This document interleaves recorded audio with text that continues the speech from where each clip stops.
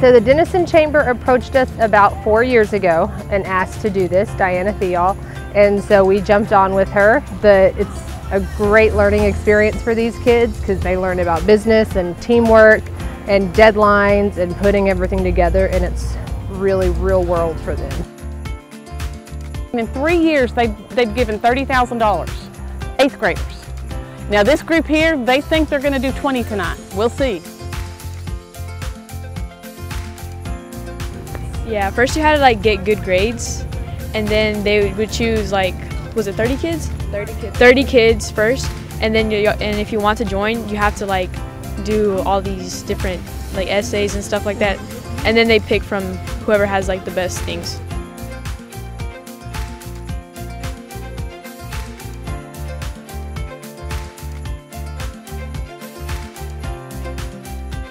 We've had three meetings this week and, and tens of other meetings in the past two months to determine prices, what we're going to sell, where we're going to store it, and all other sorts like that. Uh, it's important because each of these stands have money that are going to be going to a nonprofit that helps out for the community and to all of like everyone else in this whole community.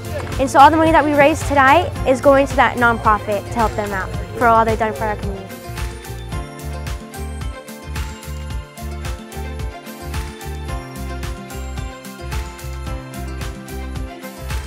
Well, we all, we've heard about Goodwill throughout the community. And we've heard good things about Goodwill.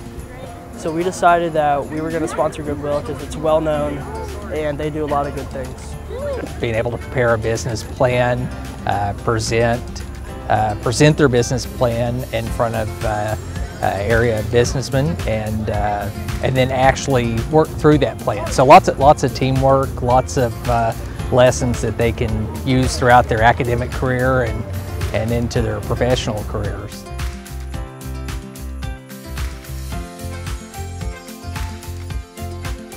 My dad works for the police, so I wanted to do Echo because I know him and he's a really lovable dog and just because I like animals. And a wonderful way to keep our community safe.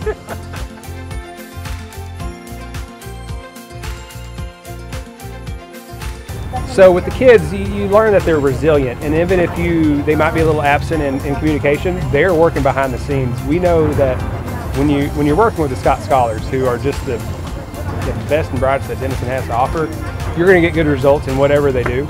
So when them wanting to help and uh, raise money for, for great causes in our community, um, you know they're going to get the job done.